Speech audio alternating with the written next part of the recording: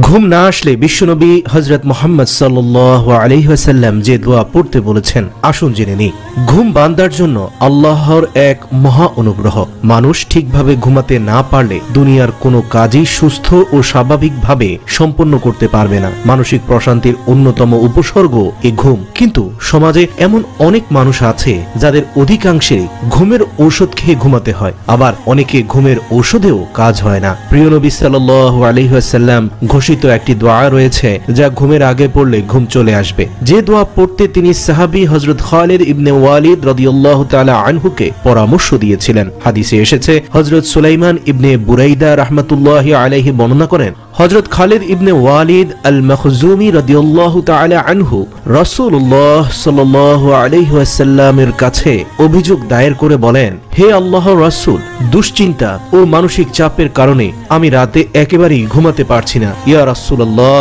আমাকে আপনি কিছু নসিহত ও পরামর্শ দিন যাতে প্রশান্তির ঘুম আমি যেতে পারি। রাসূলুল্লাহ সাল্লাল্লাহু আলাইহি ওয়াসাল্লাম তাকে বললেন, যখন তুমি বিছানায় আশ্রয় গ্রহণ করো, অর্থাৎ ঘুমাতে যাও, তখন মন থেকে পড়ো।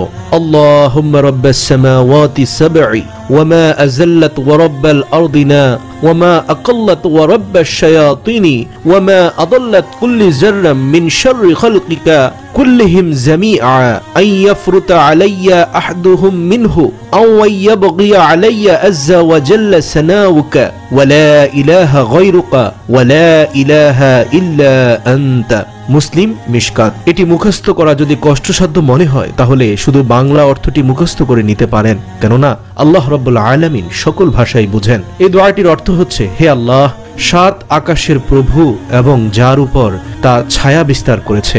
সাত জমিনের প্রভু এবং যা কিছু তা উত্থাপন করেছে। আর শয়তানদের প্রতিপালক এবং এরা যাদেরকে বিপদগামী করেছে। তুমি আমাকে তোমার সব সৃষ্টিকুলের অনিষ্টতা থেকে রক্ষার জন্য আমার প্রতিবেশী হয়ে যাও, যাতে সেগুলোর কোনোটি আমার উপর বাড়াবাড়ি করতে না পারে অথবা আমার বিরুদ্ধে বিদ্রোহ করতে না পারে। সম্মানিত তোমার প্রতিবেশী, সুমহান তোমার প্রশংসা, তুমি ছাড়া কোনো ইলাহ নেই। তুমি ব্যতীত আর কোনো মাহবুদ নেই।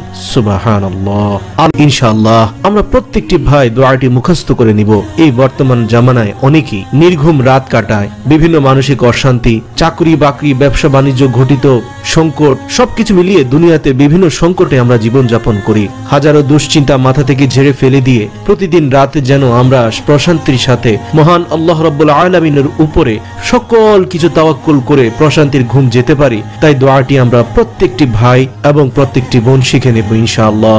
আল্লাহ তাআলা মুসলিম উম্মাহকে প্রচণ্ড মানসিক চাপ ও অস্বস্তিতে এ দোয়া পড়ে ঘুম লাভের তৌফিক দান করুক, আমিন। আর ঘুমের মাধ্যমে শারীরিক প্রশান্তি লাভে হাদিসের আমল যথাযথ করার তৌফিক দান করুক।